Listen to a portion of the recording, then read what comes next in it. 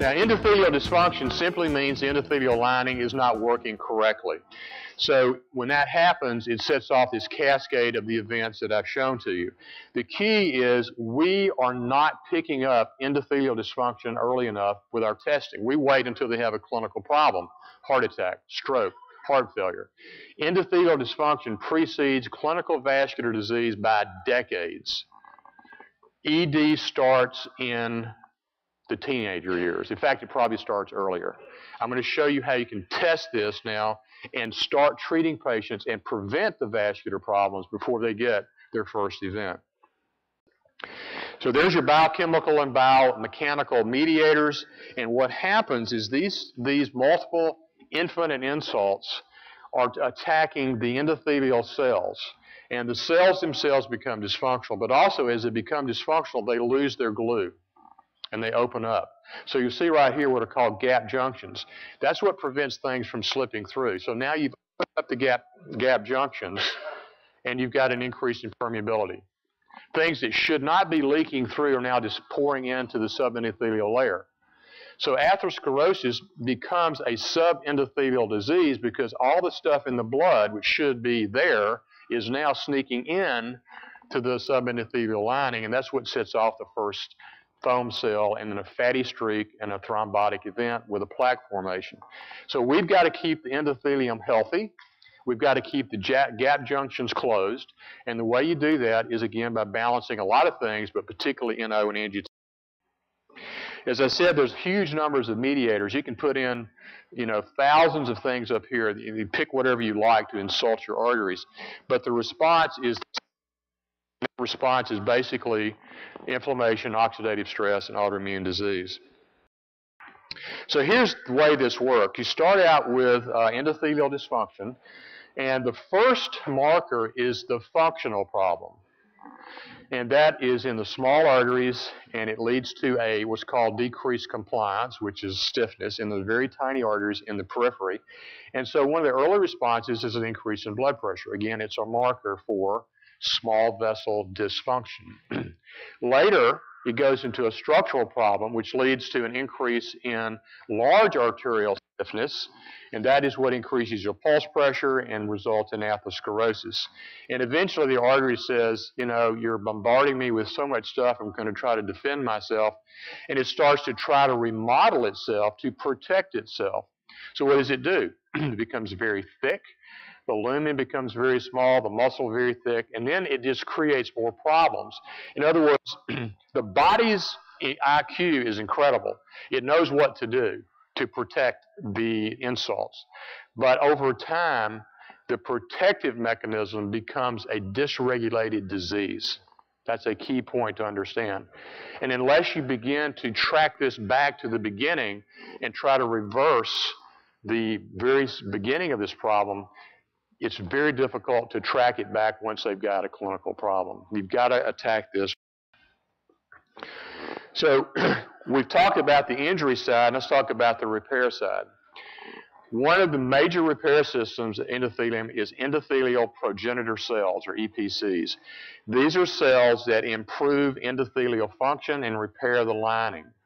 They come from your bone marrow there's various stimuli that will migrate EPCs to the endothelium, and then they start their repair job. And if you look down here, you can see there's a lot of things that are listed sort of at the bottom, but the idea is try to understand what you can do as a clinician to increase repair systems. So, for example, we know that exercise, increasing nitric oxide, estrogen, resveratrol, red wine, um, certain uh, anti certain antihypertensives like ACE inhibitors, ARBs, and even statins help to mobilize EPCs. So if you do the same thing, which is repair the system but also decrease the insults, then you start to get improvement in vascular function. Another problem is when you measure someone's blood pressure in your office, what you're measuring does not correlate very well with what's going on in the artery. In other words, you can have a normal blood pressure but already have significant vascular remodeling and vascular disease that doesn't show up. But if you do more sophisticated testing, you can pick up this as an earlier problem and recognize you need to start treatment before it progresses to the next stage. And this is the vascular remodeling problem. This is what a normal artery would look like here. You notice that the, this is the vascular smooth muscle and this is the lumen, nice and big. But as it remodels, the artery becomes very thickened and the lumen becomes very small.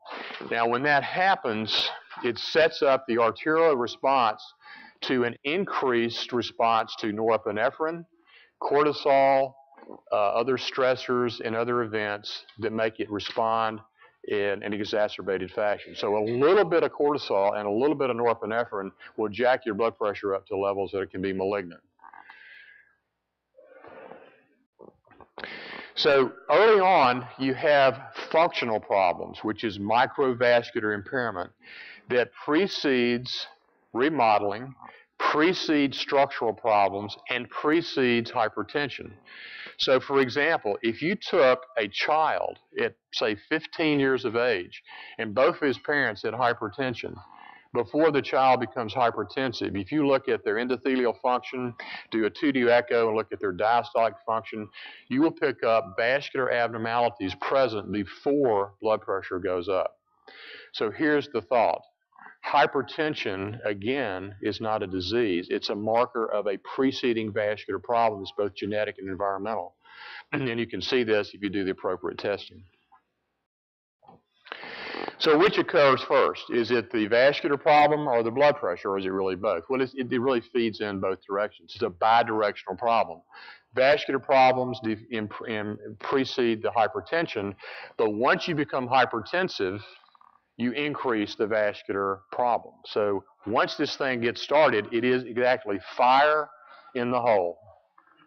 Okay? It is an inflammatory response in the vascular system. If you look at traditional medical literature, they will tell you even now that we've reached a limit in our ability to reduce cardiovascular disease in this country with our traditional approaches the top five risk factors. Now, we're not going to be covering the top five today. We're going to be covering only one of the top five. But here's the problem. The way we have defined those top, top risk factors is not correct. For example, I'm going to show you the correct way to define hypertension, which is not the correct way we're doing it. and sometime in the future, I'll tell you how to define lipids appropriately, because that's totally messed up too.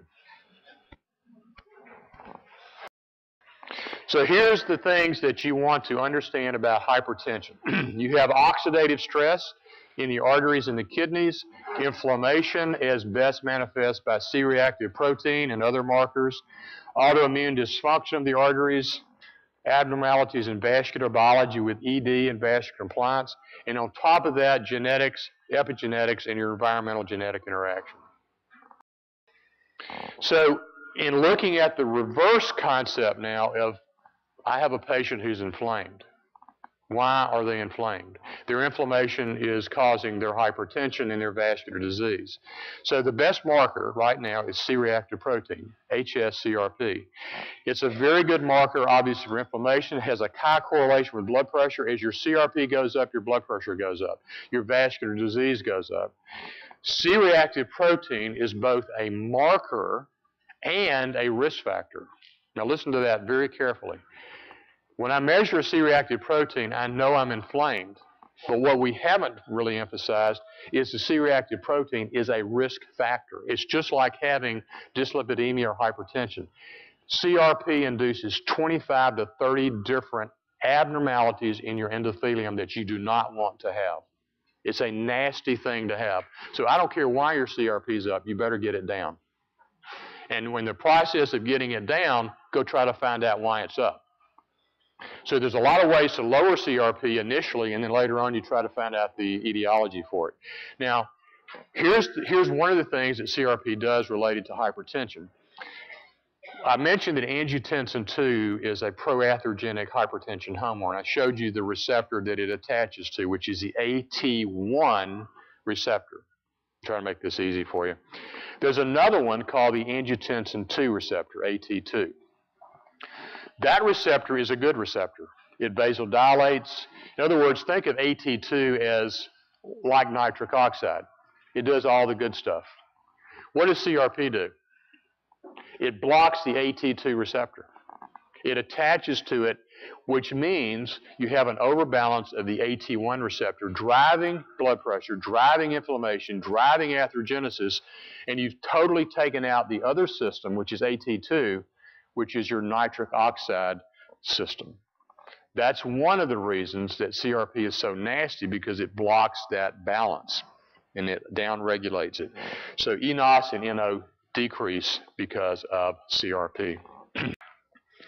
so CRP is the best inflammation marker because it's a composite of all the other inflammatory mediators coming from every site throughout the body. Okay, interleukin 6, interleukin 1b, and TNF alpha are the three precursors that go to the liver and the liver cranks out C-reactive protein. So when you measure CRP, you're actually getting a composite of total body inflammation. How many of you have heard of caveolae? merely a concept, okay.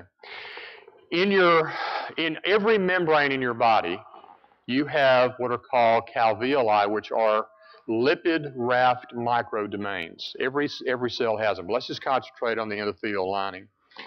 So each membrane is a, a lipid bilayer. And at the top of these things, you have these lipid rafts that basically determine the downstream inflammatory response depending on what sticks in to the microdomain.